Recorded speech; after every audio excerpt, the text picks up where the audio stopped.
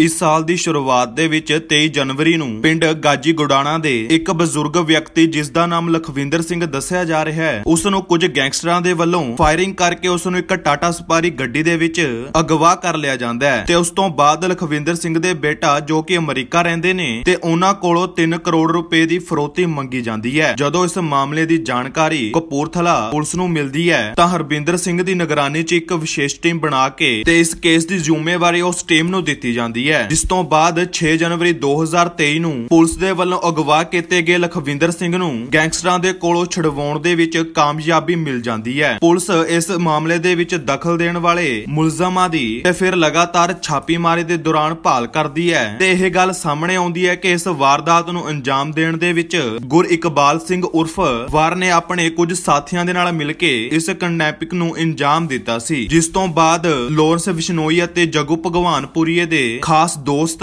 ਤੇ ਗੈਂਗਸਟਰ ਅੰਮ੍ਰਿਤ ਬੱਲ ਦਾ ਨਾਮ ਵੀ ਸਾਹਮਣੇ ਆਇਆ ਹੈ। ਅੰਮ੍ਰਿਤ ਬੱਲ ਦਾ ਨਾਮ ਸਾਹਮਣੇ ਆਉਣ ਤੋਂ ਬਾਅਦ ਇਸ ਗੈਂਗਸਟਰ ਦੇ ਵੱਲੋਂ ਸੋਸ਼ਲ ਮੀਡੀਆ ਤੇ ਇੱਕ ਪੋਸਟ ਪਾਈ ਗਈ ਹੈ, ਜਿਸ ਦੇ ਵਿੱਚ ਪੰਜਾਬ ਪੁਲਿਸ ਨੂੰ ਉਸਨੇ ਆਪਣੀ ਸਫ਼ਾਈ ਦਿੰਦਿਆਂ ਕਿਹਾ ਕਿ, ਸਤਿ ਸ਼੍ਰੀ ਅਕਾਲ ਮੇਰੇ ਸਾਰੇ ਵੀਰਾ ਭਰਾਵਾਂ ਨੂੰ, ਮੈਂ ਇੱਕ ਗੱਲ ਕਲੀਅਰ ਕਰਨਾ ਚਾਹੁੰਦਾ ਹਾਂ, ਜਿਹੜੇ ਕਪੂਰਥਲੇ ਦੇ ਵਿੱਚ ਬੰਦੇ ਫੜੇ ਗਏ ਹਨ, ਜਿਵੇਂ ਕਿ ਵਰਗਡਾਣਾ ਜਾਂ ਫਿਰ ਇਸ ਦੇ ਜ਼ਰੀਏ ਜਿੰਨੇ ਵੀ ਬੰਦੇ ਫੜੇ ਗਏ ਹਨ, ਇਹਨਾਂ ਨੇ ਰਲ ਕੇ ਜਿਹੜੀ ਵੀ ਕੰਡੈਪਿਕ ਕੀਤੀ ਹੈ, ਇਸ ਦੇ ਵਿੱਚ ਅੰਮ੍ਰਿਤ ਬੱਲ ਤੇ ਲਵਜੀਤ ਕੰਗ ਦਾ ਕੋਈ ਵੀ ਹੱਥ ਨਹੀਂ ਹੈ। ਸਾਨੂੰ ਕੇਸ ਦੇ ਵਿੱਚ ਨਜਾਇਜ਼ ਫਸਾਇਆ ਜਾ ਰਿਹਾ ਹੈ। ਅਗਰ ਕਿਸੇ ਦੇ ਕੋਲ ਕੋਈ ਵੀ ਪ੍ਰੂਫ ਹੈ, ਕੋਈ ਵੀ ਕਾਲ ਰਿਕਾਰਡਿੰਗ ਹੈ, ਜਾਂ ਫਿਰ ਕੋਈ ਵੀ ਮੈਸੇਜ ਹੈ, ਉਹ ਪ੍ਰੂਫ ਕਰਕੇ ਦਿਖਾਇਆ ਜਾਵੇ। ਮੇਰੀ ਪੰਜਾਬ ਪੁਲਿਸ ਦੇ ਅੱਗੇ ਇਹੀ ਬੇਨਤੀ ਹੈ ਕਿ ਸਾਡੇ ਉੱਤੇ ਨਜਾਇਜ਼ ਪਰਚੇ ਨਾ ਕੀਤੇ ਜਾਣ। ਜੋ ਵੀ ਜਾਇਜ਼ ਹਨ, ਅਸੀਂ ਮੰਨਦੇ ਹਾਂ, ਪਰ ਨਜਾਇਜ਼ ਸਾਡੇ ਤੇ ਕੋਈ ਵੀ ਕਾਰਵਾਈ ਨਾ ਕੀਤੀ ਜਾਵੇ। ਬਾਹਰ ਸਾਡਾ ਵੱਡਾ ਭਰਾ ਹੈ, ਇਸ ਗੱਲ ਤੋਂ ਅਸੀਂ ਇਨਕਾਰ ਨਹੀਂ ਕਰਦੇ। ਪਰ ਅਸੀਂ ਇਸ ਕੰਡੈਪਿਕ ਦੇ ਕੋਈ ਵੀ ਹਿੱਸੇਦਾਰ ਨਹੀਂ ਹੈਗੇ। ਤੇ ਨਾ ਹੀ ਅਸੀਂ ਪੈਸੇ ਦਾ ਲੈਣ ਦੇਣ ਕੀਤਾ ਏ। ਤੇ ਨਾ ਹੀ ਅੱਜ ਤੱਕ ਅਸੀਂ ਕਿਸੇ ਤੋਂ ਇਸ ਘਟਨਾ ਦੀ ਫਿਰੌਤੀ ਮੰਗੀ ਹੈ ਤੁਹਾਨੂੰ ਦੱਸ ਦਈਏ ਕਿ ਅੰਮ੍ਰਿਤ ਬੱਲ